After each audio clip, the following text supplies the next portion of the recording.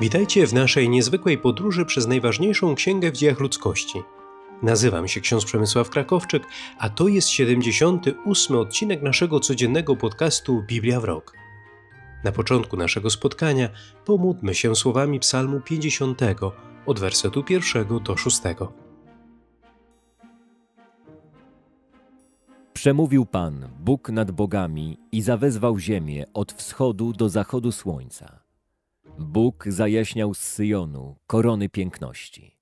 Bóg nasz przybył i nie milczy. Przed nim ogień trawiący, wokół niego szaleje nawałnica. Wzywa on z góry niebo i ziemię, by lud swój sądzić. Zgromadźcie mi moich umiłowanych, którzy zawarli ze mną przymierze przez ofiarę. Niebiosa zwiastują Jego sprawiedliwość, albowiem sam Bóg jest sędzią. Rozdziały od 19 do 21 Księgi Jozuego opisują zakończenie procesu podziału ziemi obiecanej między pokolenia Izraela, a także wyznaczenie miast ucieczki i miast dla Lewitów. Drugi los przypadł w udziale Symeonowi, pokoleniu potomków Symeona, według ich rodów, a dział ich znajdował się pośród dziedzictwa potomków Judy. Zaliczały się do ich działu Berszeba, Szema, Malada, Hasar Szual, Bala, Esem, Eltolat, Betul, Horma, Siklak, Bethamarkabot, Hasar Susa, Betlebaot, Szaruchen. Trzynaście miast z ich wioskami. Ain, Rimmon, Eter i Aszan. Cztery miasta i przyległe wioski. A oprócz tego wszystkie wioski leżące dokoła tych miast aż do Baalat Ber, czyli Rama w Negebie. Takie było dziedzictwo pokolenia potomków Symeona według ich rodów. Dział potomków Symeona był wzięty z dziedzictwa potomków Judy, które było zbyt wielkie dla nich i dlatego potomkowie Symeona otrzymali swoje dziedzictwo wśród ich dziedzictwa. Trzeci los padł na potomków Zabulona według ich rodów. Dział ich dziedzictwa sięgał aż do Sarit. Granica ich biegła na zachód od Marala i dotykała Dabbaszet, dochodząc do potoku po wschodniej stronie Jokneam. Od Sarit zwracała się ku wschodowi w kierunku wschodzącego słońca, aż do granicy Kislot-Tabor. Biegła ku Deberat i wznosiła się do Jafia. A stąd znów przechodziła ku wschodowi, ku wschodzącemu słońcu, do Gad Hahefer, do Etkasim i biegła dalej do Rimmon, zwracając się do Nea. Dalej granica biegła na północ koło Hannanot i kończyła się na równinie Yiftach El. Ponadto Kattat, Nahalal, Shimron, Ideala i Betlejem. Dwanaście miast wraz z przyległymi wioskami. Takie było dziedzictwo potomków Zabulona według ich rodów. Takie miasta i przyległe wioski. Issacharowi przypadł w udziale los czwarty, potomkom Issachara według ich rodów. Dziedzictwo ich rozciągało się aż do Izrael i obejmowało Hakesulot, Szunem, Hafaraim, Shion, Anaharat, Rabbit, Kishion, Ebes, Remet, Enganim, Enhadda, Betpases. Granica dotykała Taboru, Szachasima i Bet-Szemesz, a następnie kończyła się nad Jordanem. Szesnaście miast i przyległe wioski. Takie było dziedzictwo pokolenia Issachara według ich rodów, ich miasta i przyległe wioski. Piąty los przypadł w udziale pokoleniu potomków Asera według ich rodów.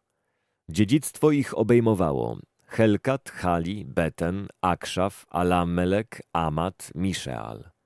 Na zachodzie granica dotykała Karmelu i Shichor-Libnat, a następnie zwracała się ku wschodowi słońca do Bet-Dagon. Dotykała dziedzictwa Zabulona i doliny Yiftach El na północy. Ciągnęła się przez Bet-Haemek i Neiel, biegnąc do Kabulu. Od strony północnej należały Abdon, Rechob, Hammon, Kana, aż do Sydonu Wielkiego. Potem granica zwracała się do Rama i aż do warownego miasta Tyr i wracała do Hosa, kończąc się nad morzem. Obejmowała Machaleb, Agzib, Uma, Afek i. Dwadzieścia dwa miasta i przyległe wioski. Takie było dziedzictwo pokolenia potomków Asera według ich rodów, ich miasta i przyległe wioski. Potomkom Neftalego przypadł w udziale los szósty, potomkom Neftalego według ich rodów. Granica ich biegła z Chelew i od dębów Saananim do Adami Hanekeb i Jabneel, aż do Lakkum i dochodziła do Jordanu. Na zachodzie granica biegła ku Aznot Tabor, dochodziła do Hukkok, dotykała dziedzictwa Zabulona od południa, dziedzictwa Asera od zachodu, a Judy przy Jordanie od wschodu. Miastami warownymi były Hasidim, Ser, Hammat, Rakkat, Kinneret, Adama, Harama, Hasor, Kedesz, Edrei, Enhasor, Jireon, Migdal-El, Chorem, Bet-Anat, Bet-Szemesz. Dziewiętnaście miast z przyległymi wioskami. Takie było dziedzictwo pokolenia potomków Neftalego według ich rodów, ich miasta i przyległe wioski.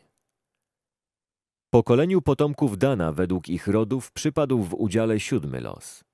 Granica ich dziedzictwa obejmowała Sorea, Esztaol, Ir-Szemesz, Szaalbin, Ajjalon, Jitla, Elon, Timne, Ekron, Elteke, Gibbeton, Baalat, Jehud, Beneberak, Gatrimmon, Mechajarkon, Harakon, wraz z obszarem naprzeciw Jafy. Granica wykraczała poza nich. Danici bowiem wyruszyli przeciw Leszem, zdobyli je i pobili mieszkańców ostrzem miecza. Po zajęciu miasta zamieszkali w nim i nazwali Leszem Dan od imienia ich praojca Dana.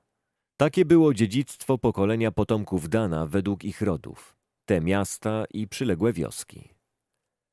Gdy dokonano podziału kraju według jego rozciągłości, Izraelici ofiarowali dziedzictwo wśród siebie Jozuemu, synowi Nuna. Na rozkaz Pana dali mu miasto, którego zażądał dla siebie, Timnat Serach w górach Efraima. Odbudował to miasto i osiadł w nim. Takie są części dziedzictwa, które losem wydzielili kapłan Eleazar, Jozue, syn Nuna i książęta rodów izraelskich w Shilo wobec Pana przy wejściu do namiotu spotkania. Tak został zakończony podział kraju. Pan przemówił do Jozuego tymi słowami. Powiesz Izraelitom, wyznaczcie sobie miasta ucieczki, o których mówiłem wam przez Mojżesza, aby tam mógł uciec zabójca, który by zabił człowieka przez nieuwagę, nierozmyślnie. Będą one dla was schronieniem przed mścicielem krwi. Do jednego z tych miast powinien uciec zabójca. Zatrzyma się u wejścia i przedstawi swoją sprawę starszym tego miasta. Przyjmą go oni do miasta i wyznaczą mu miejsce, by mógł mieszkać wśród nich. Jeśli mściciel krwi będzie go ścigał, nie wydadzą go w jego ręce, ponieważ nierozmyślnie zabił swego bliźniego, do którego przedtem nie żywił nienawiści. Zabójca powinien pozostać w tym mieście, dopóki nie stanie przed sądem zgromadzenia i aż do śmierci najwyższego kapłana, który w tym czasie będzie sprawował czynności. Wtedy dopiero może zabójca wrócić do swego miasta i do swego domu w mieście, z którego uciekł. Poświęcili w tym celu Kadesz w Galilei na górze Neftalego, Sychem na górze Efraima oraz Kirjat Arba, czyli Hebron, na górze Judy. Z drugiej strony Jordanu, na wschód od Jericha, wyznaczono na pustyni na płaskowyżu Beser z pokolenia Rubena, Ramot w Gileadzie z pokolenia Gada, Golan w Baszanie z pokolenia Manassesa. Takie były miasta wyznaczone dla wszystkich Izraelitów i dla przybysza osiadłego wśród nich, aby tam mógł uciec każdy, ktokolwiek zabije człowieka nierozmyślnie, by nie poniósł śmierci z ręki mściciela krwi, dopóki nie stanie przed zgromadzeniem. Przyszli przełożeni rodów lewickich do arcykapłana Eleazara, do Jozułego, syna Nuna i do naczelników rodów pokoleń Izraelitów i rzekli do nich w Shilo w kraju Kanaan. Pan polecił przez Mojżesza, aby nam dano miasta na zamieszkanie wraz z ich pastwiskami dla naszego bydła. Izraelici oddali więc Lewitom ze swego dziedzictwa zgodnie z rozkazem Pana następujące miasta wraz z ich pastwiskami. Los padł na rody Kechatytów. Potomkom kapłana Aarona spośród Lewitów przypadło losem trzynaście miast od pokolenia Judy, od pokolenia Symeona i od pokolenia Beniamina.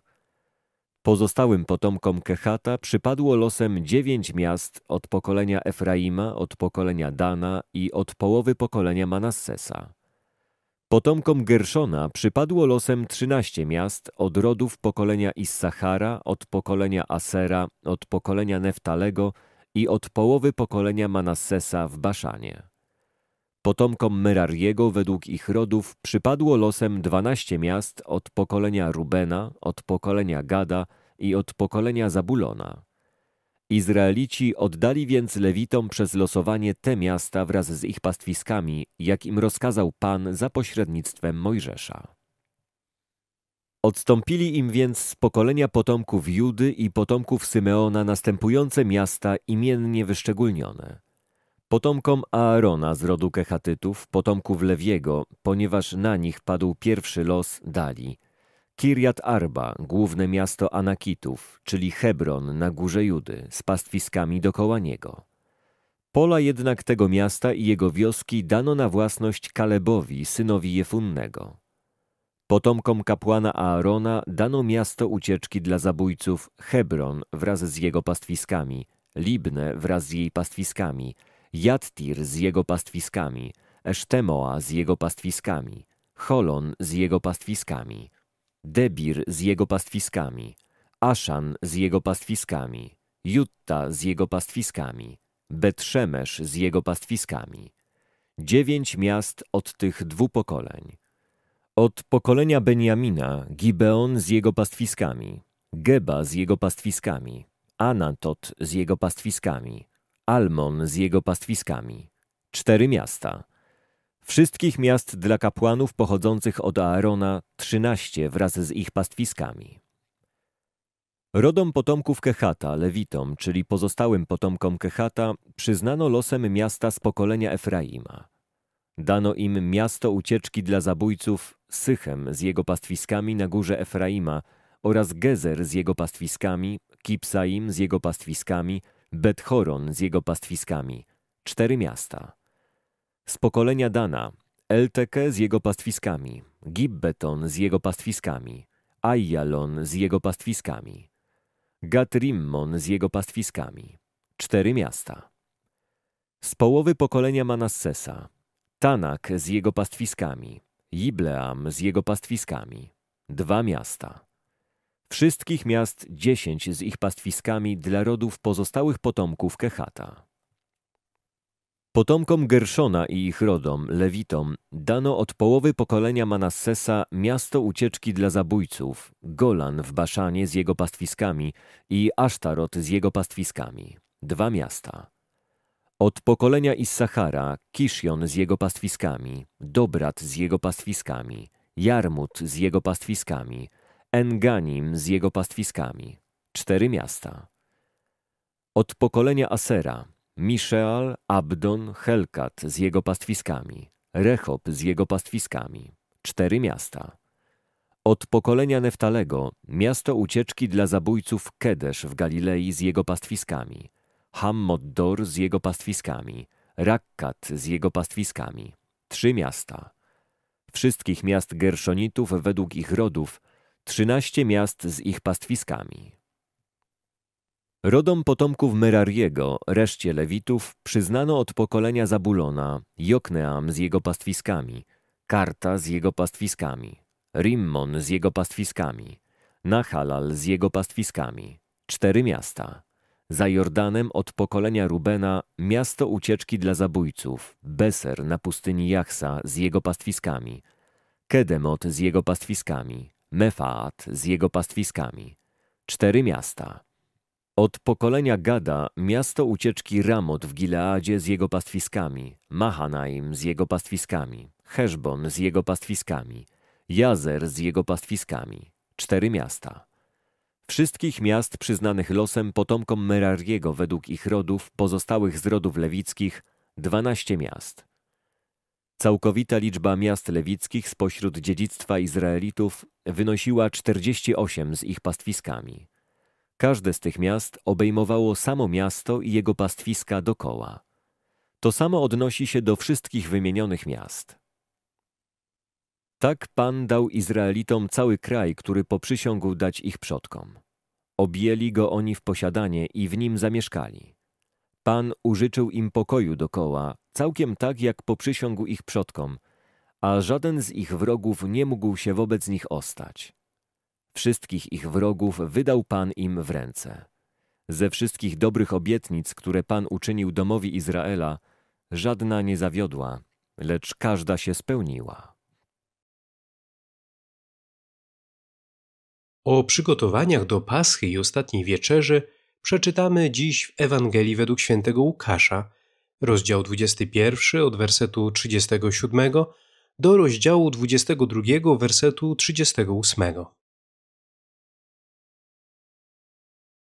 W ciągu dni nauczał Jezus w świątyni, a wychodząc noce spędzał na górze zwanej Oliwną. A rano cały lud śpieszył do niego, aby go słuchać w świątyni.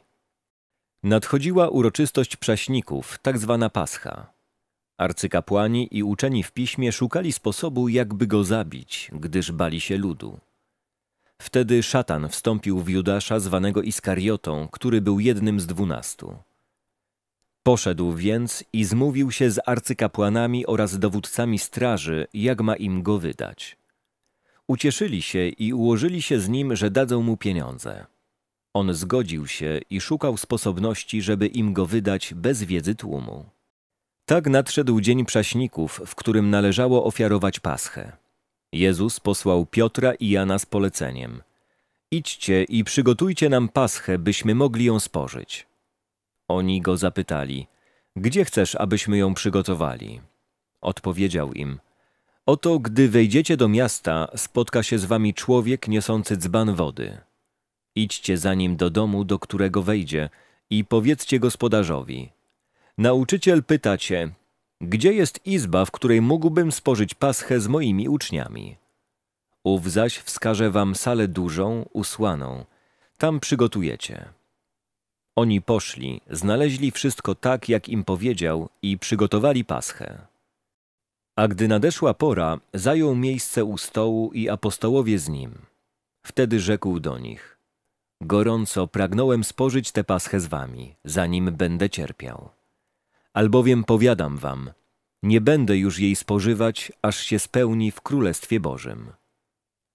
Potem wziął kielich i odmówiwszy dziękczynienie rzekł, weźcie go i podzielcie między siebie, albowiem powiadam wam, odtąd nie będę już pił napoju z owocu winnego krzewu, aż przyjdzie Królestwo Boże. Następnie wziął chleb, odmówiwszy dziękczynienie, połamał go i podał im mówiąc, to jest ciało moje, które za was będzie wydane. To czyńcie na moją pamiątkę.